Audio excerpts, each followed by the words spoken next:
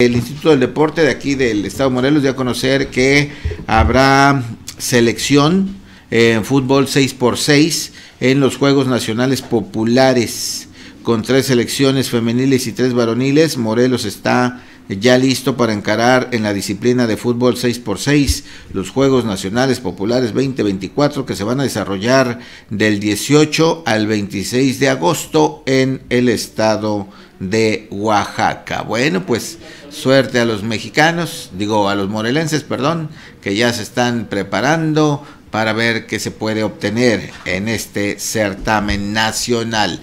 Pues aquí hay muy buenos jugadores, esperemos que sean los seleccionados para darnos satisfacción.